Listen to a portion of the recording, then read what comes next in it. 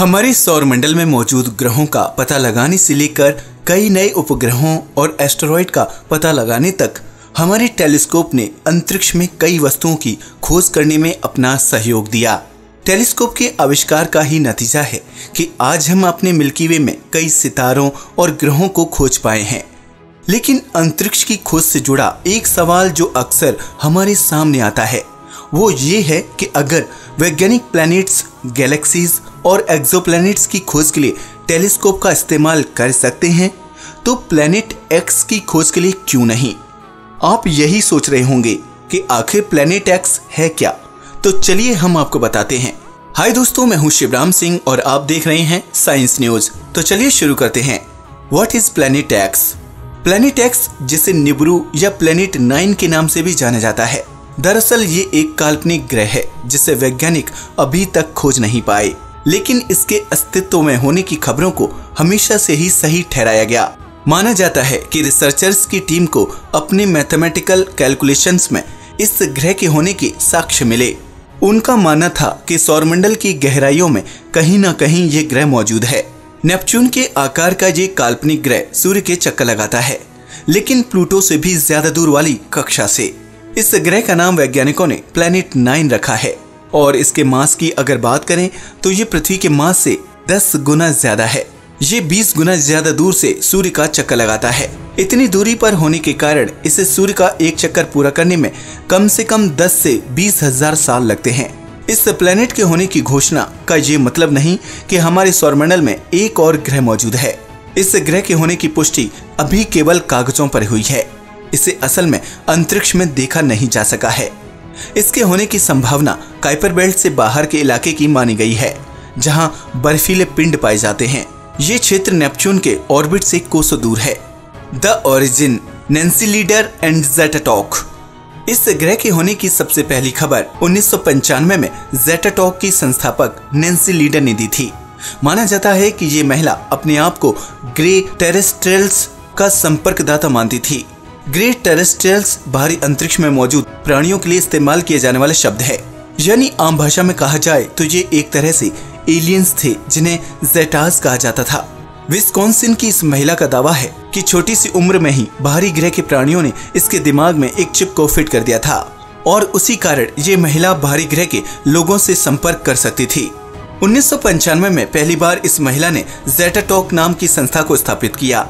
और संस्था की मदद से इस महिला ने जेटास से बातचीत करने का दावा किया। लोगों का ध्यान इस महिला ने अपनी ओर तब खींचा, जब कॉमेट हेल बीओपीपी की धरती के पास से गुजर जाने की खबरें धरती पर चारों ओर फैली हुई थीं।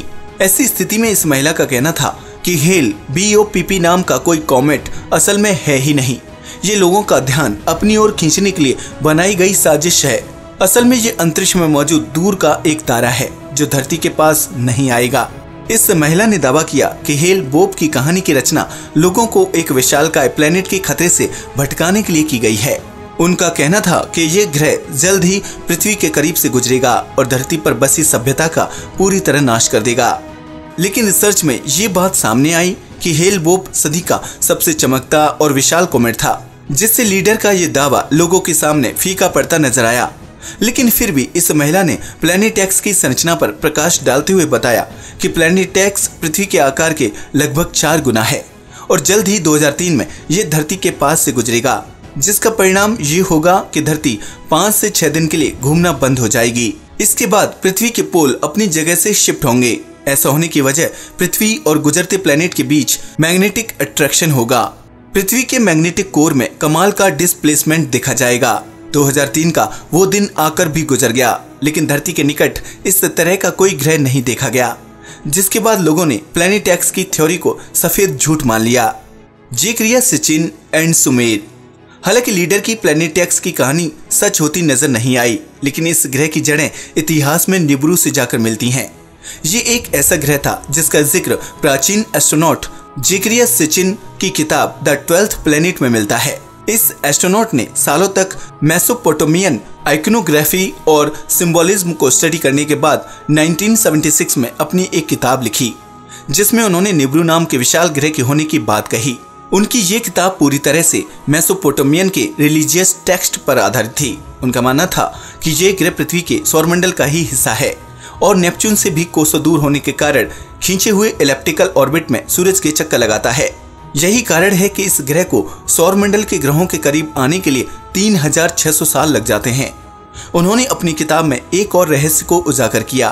वो ये था कि ब्रह्मांड के शुरुआती दौर में जुपिटर और मंगल ग्रह के बीच एक और ग्रह मौजूद था, जिसका नाम टियामेट था।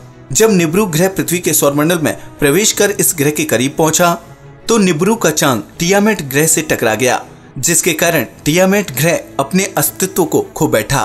दरअसल इसके दो टुकड़े हो गए, जहाँ एक टुकड़े ने निब्रू ग्रह से टकराकर एस्टोरॉइड बेल्ट का रूप ले लिया, वहीं इसका दूसरा हिस्सा एक नए ऑर्बिट में जाकर घूमने लगा। और इसी टुकड़े को आज हम पृथ्वी के नाम से जानते हैं। एस्ट्रोनॉट सचिन ने अपनी किताब में ये भी बताया कि निब्रू नाम वाले इस ग्रह पर एक अलग ही सभ्यता विकसित थी, जिसे सुमेरियन माइथोलॉजी में अनुनाकी नाम दिया गया था। इसके साथ ही जेनेसिस माइथोलॉजी में इसे नेफिलियन का नाम दिया गया। इसके अनुसार ये सभ्यता इस ग्रह पर तब पनपना शुरू हुई जब इस ग्रह ने हमारे सौरमंडल में कदम रखा।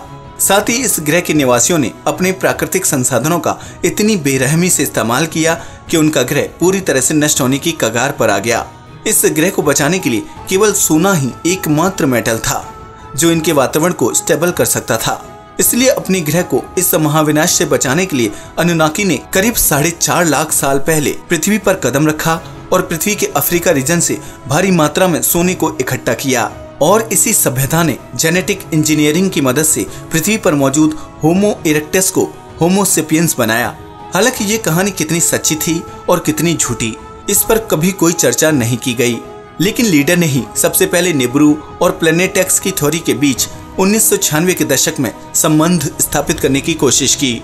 हालाँकि सचिन ने इन सभी दावों को खंडित करते हुए इन दोनों ग्रह के बीच किसी भी तरह का संबंध होने से इनकार किया।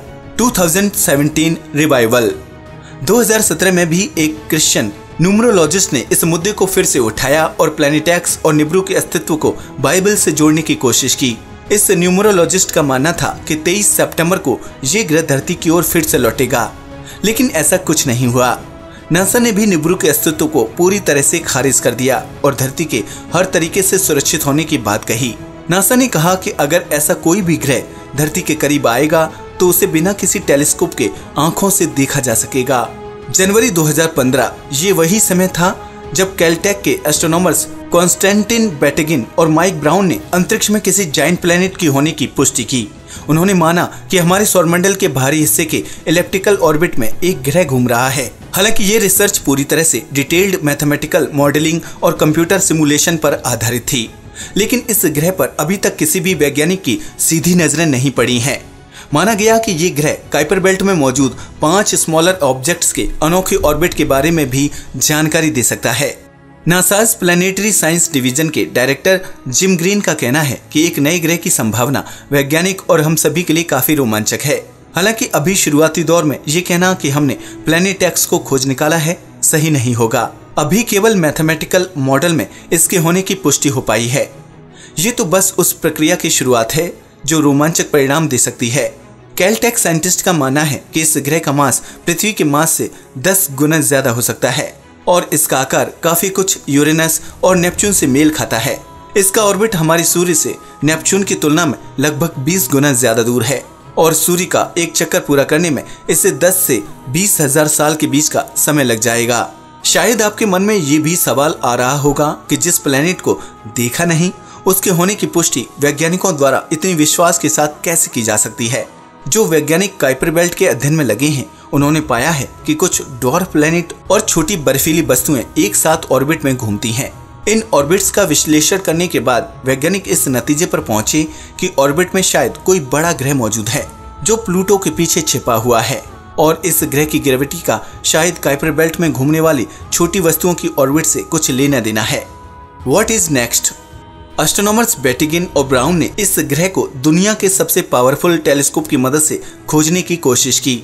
हालाँकि किसी भी वस्तु को अंतरिक्ष में खोजना बेहद मुश्किल है, लेकिन उनका विश्वास था कि टेलीस्कोप की मदद से इसे ढूंढा जा सकेगा। लेकिन वर्षों तक की गई मेहनत के बाद भी वैज्ञानिक इस ग्रह को नहीं ढूंढ पाए। शायद आपके मन में ये भी सवाल आता होगा कि अगर अंतरिक्ष में असल में ऐसा कोई ग्रह मौजूद है तो उसे अभी तक हबल टेलीस्कोप की मदद से क्यों नहीं ढूंढा जा सका? इसका सबसे बड़ा कारण है कि सभी ग्रह अंतरिक्ष में अपनी छवि को दिखाने के लिए सूरज से मिलती रोशनी को रिफ्लेक्ट करते हैं। लेकिन ग्रहों द्वारा रिफ्लेक्ट की गई रोशनी सूर्य से दूरी ज़्यादा होने पर कम होती जाती है। ऐसे में प्लेनेट एक्स को नेपच्यून के रूप में सूर्य से 20 गुना ज़्यादा दूर माना जाता है। इसलिए ये केवल नेपच्यून के वन अपॉन फोर लाइट को रिफ्लेक्ट करता है। यानी कि किसी भी वस्तु को हमारे टेलीस्कोप से देखने पर उस वस्तु की दूरी के कारण रोशनी की मात्रा गिर जाती है। इसका मतलब है कि प्लेनेट एक्स जो पृथ्वी से कोसों दूर है उसकी लाइट रिफ्लेक्ट होने की क्षमता बेहद ही कम होगी और ये ग्रह नेपच्यून की तरह one upon one lakh sixty thousand ही चमकीला होगा। ऐसे में अंतरिक्ष में इसके देखे जाने के आसार बेहद कम हो जाते हैं, क्योंकि ये अंतरिक्ष में एक छोटा बिंदु ढूँढने जैसा है। हालाँकि हबल टेलीस्कोप ऐसा करने में सक्षम है, लेकिन अंतरिक्ष में बिंदु ढूँढने के लिए टेलीस्कोप की सही दिशा भी मायने रखती है। यही कारण है कि आज तक हम हबल टेलीस्कोप की मदद से भी इस ग्रह को ढूँढने में नाकामयाब रहे हैं। आज भी इस क्षेत्र में रिसर्च जारी है। इस रिसर्च के दौरान वैज्ञानिक अंतरिक्ष में मौजूद कई वस्तुओं का खुलासा कर चुके हैं, लेकिन प्लेनेट नाइन अभी भी उनकी पहुँच से कोसों दूर है। दोस्तों, आपको क्या लगता है कि क्या वाकई में प्लेनेट नाइन हमारे सौरमंडल में मौजूद है? हमें अपनी राय बताएँ। आज के लिए बस इतना ही। वीडियो अच्छा लगा हो तो प्लीज़ इसे लाइक और शेयर करें। साथ ही चैनल को सब्सक्राइब भी करें। नमस्कार दोस्तों।